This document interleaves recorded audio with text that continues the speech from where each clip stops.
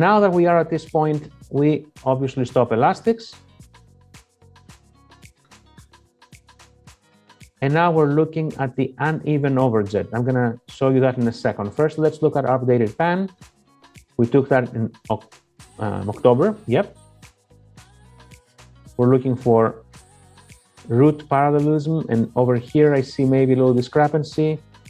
Over here I see a little discrepancy. So let's see what we did October 9th. This was the appointment before we see them today. We refit a power chain to tighten up all the contacts.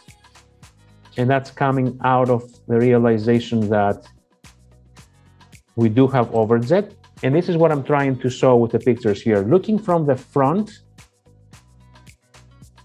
it looks like we're closed.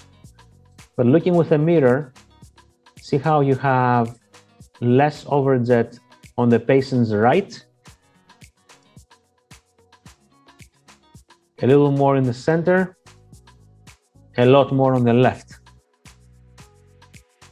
So sometimes when you end up with uneven overjet, I take those pictures to see when I consolidate the rest of the space that I have, what will the difference be next time I see the patient?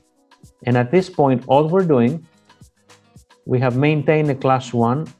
We're consolidating the remaining of the space to see if we can get everything closed without the need for restorative. He did start with small laterals, so that's always an option. And if I go back to the consent, I hope I discussed that with the parents. What's the first thing we're gonna check tomorrow? Exactly. How do we check space closure? Floss. Yes. You guys are awesome. Sometimes you can't see it, you have to feel it. Okay? What if the space is still open and we have overjet? We are reapplying the power chain. Correct. New 5 to 5 in this case. What if the space is not closed, but we have no more overjet? That's why I took the pictures of the mirror, how I look at the overjet. I'm looking at the clearance. What do I do next if I'm, I'm out of overjet? The discussion is this. Are we happy with the overjet? Yes. We're done with closing spaces until we either IPR the lower or discuss restorative with mom.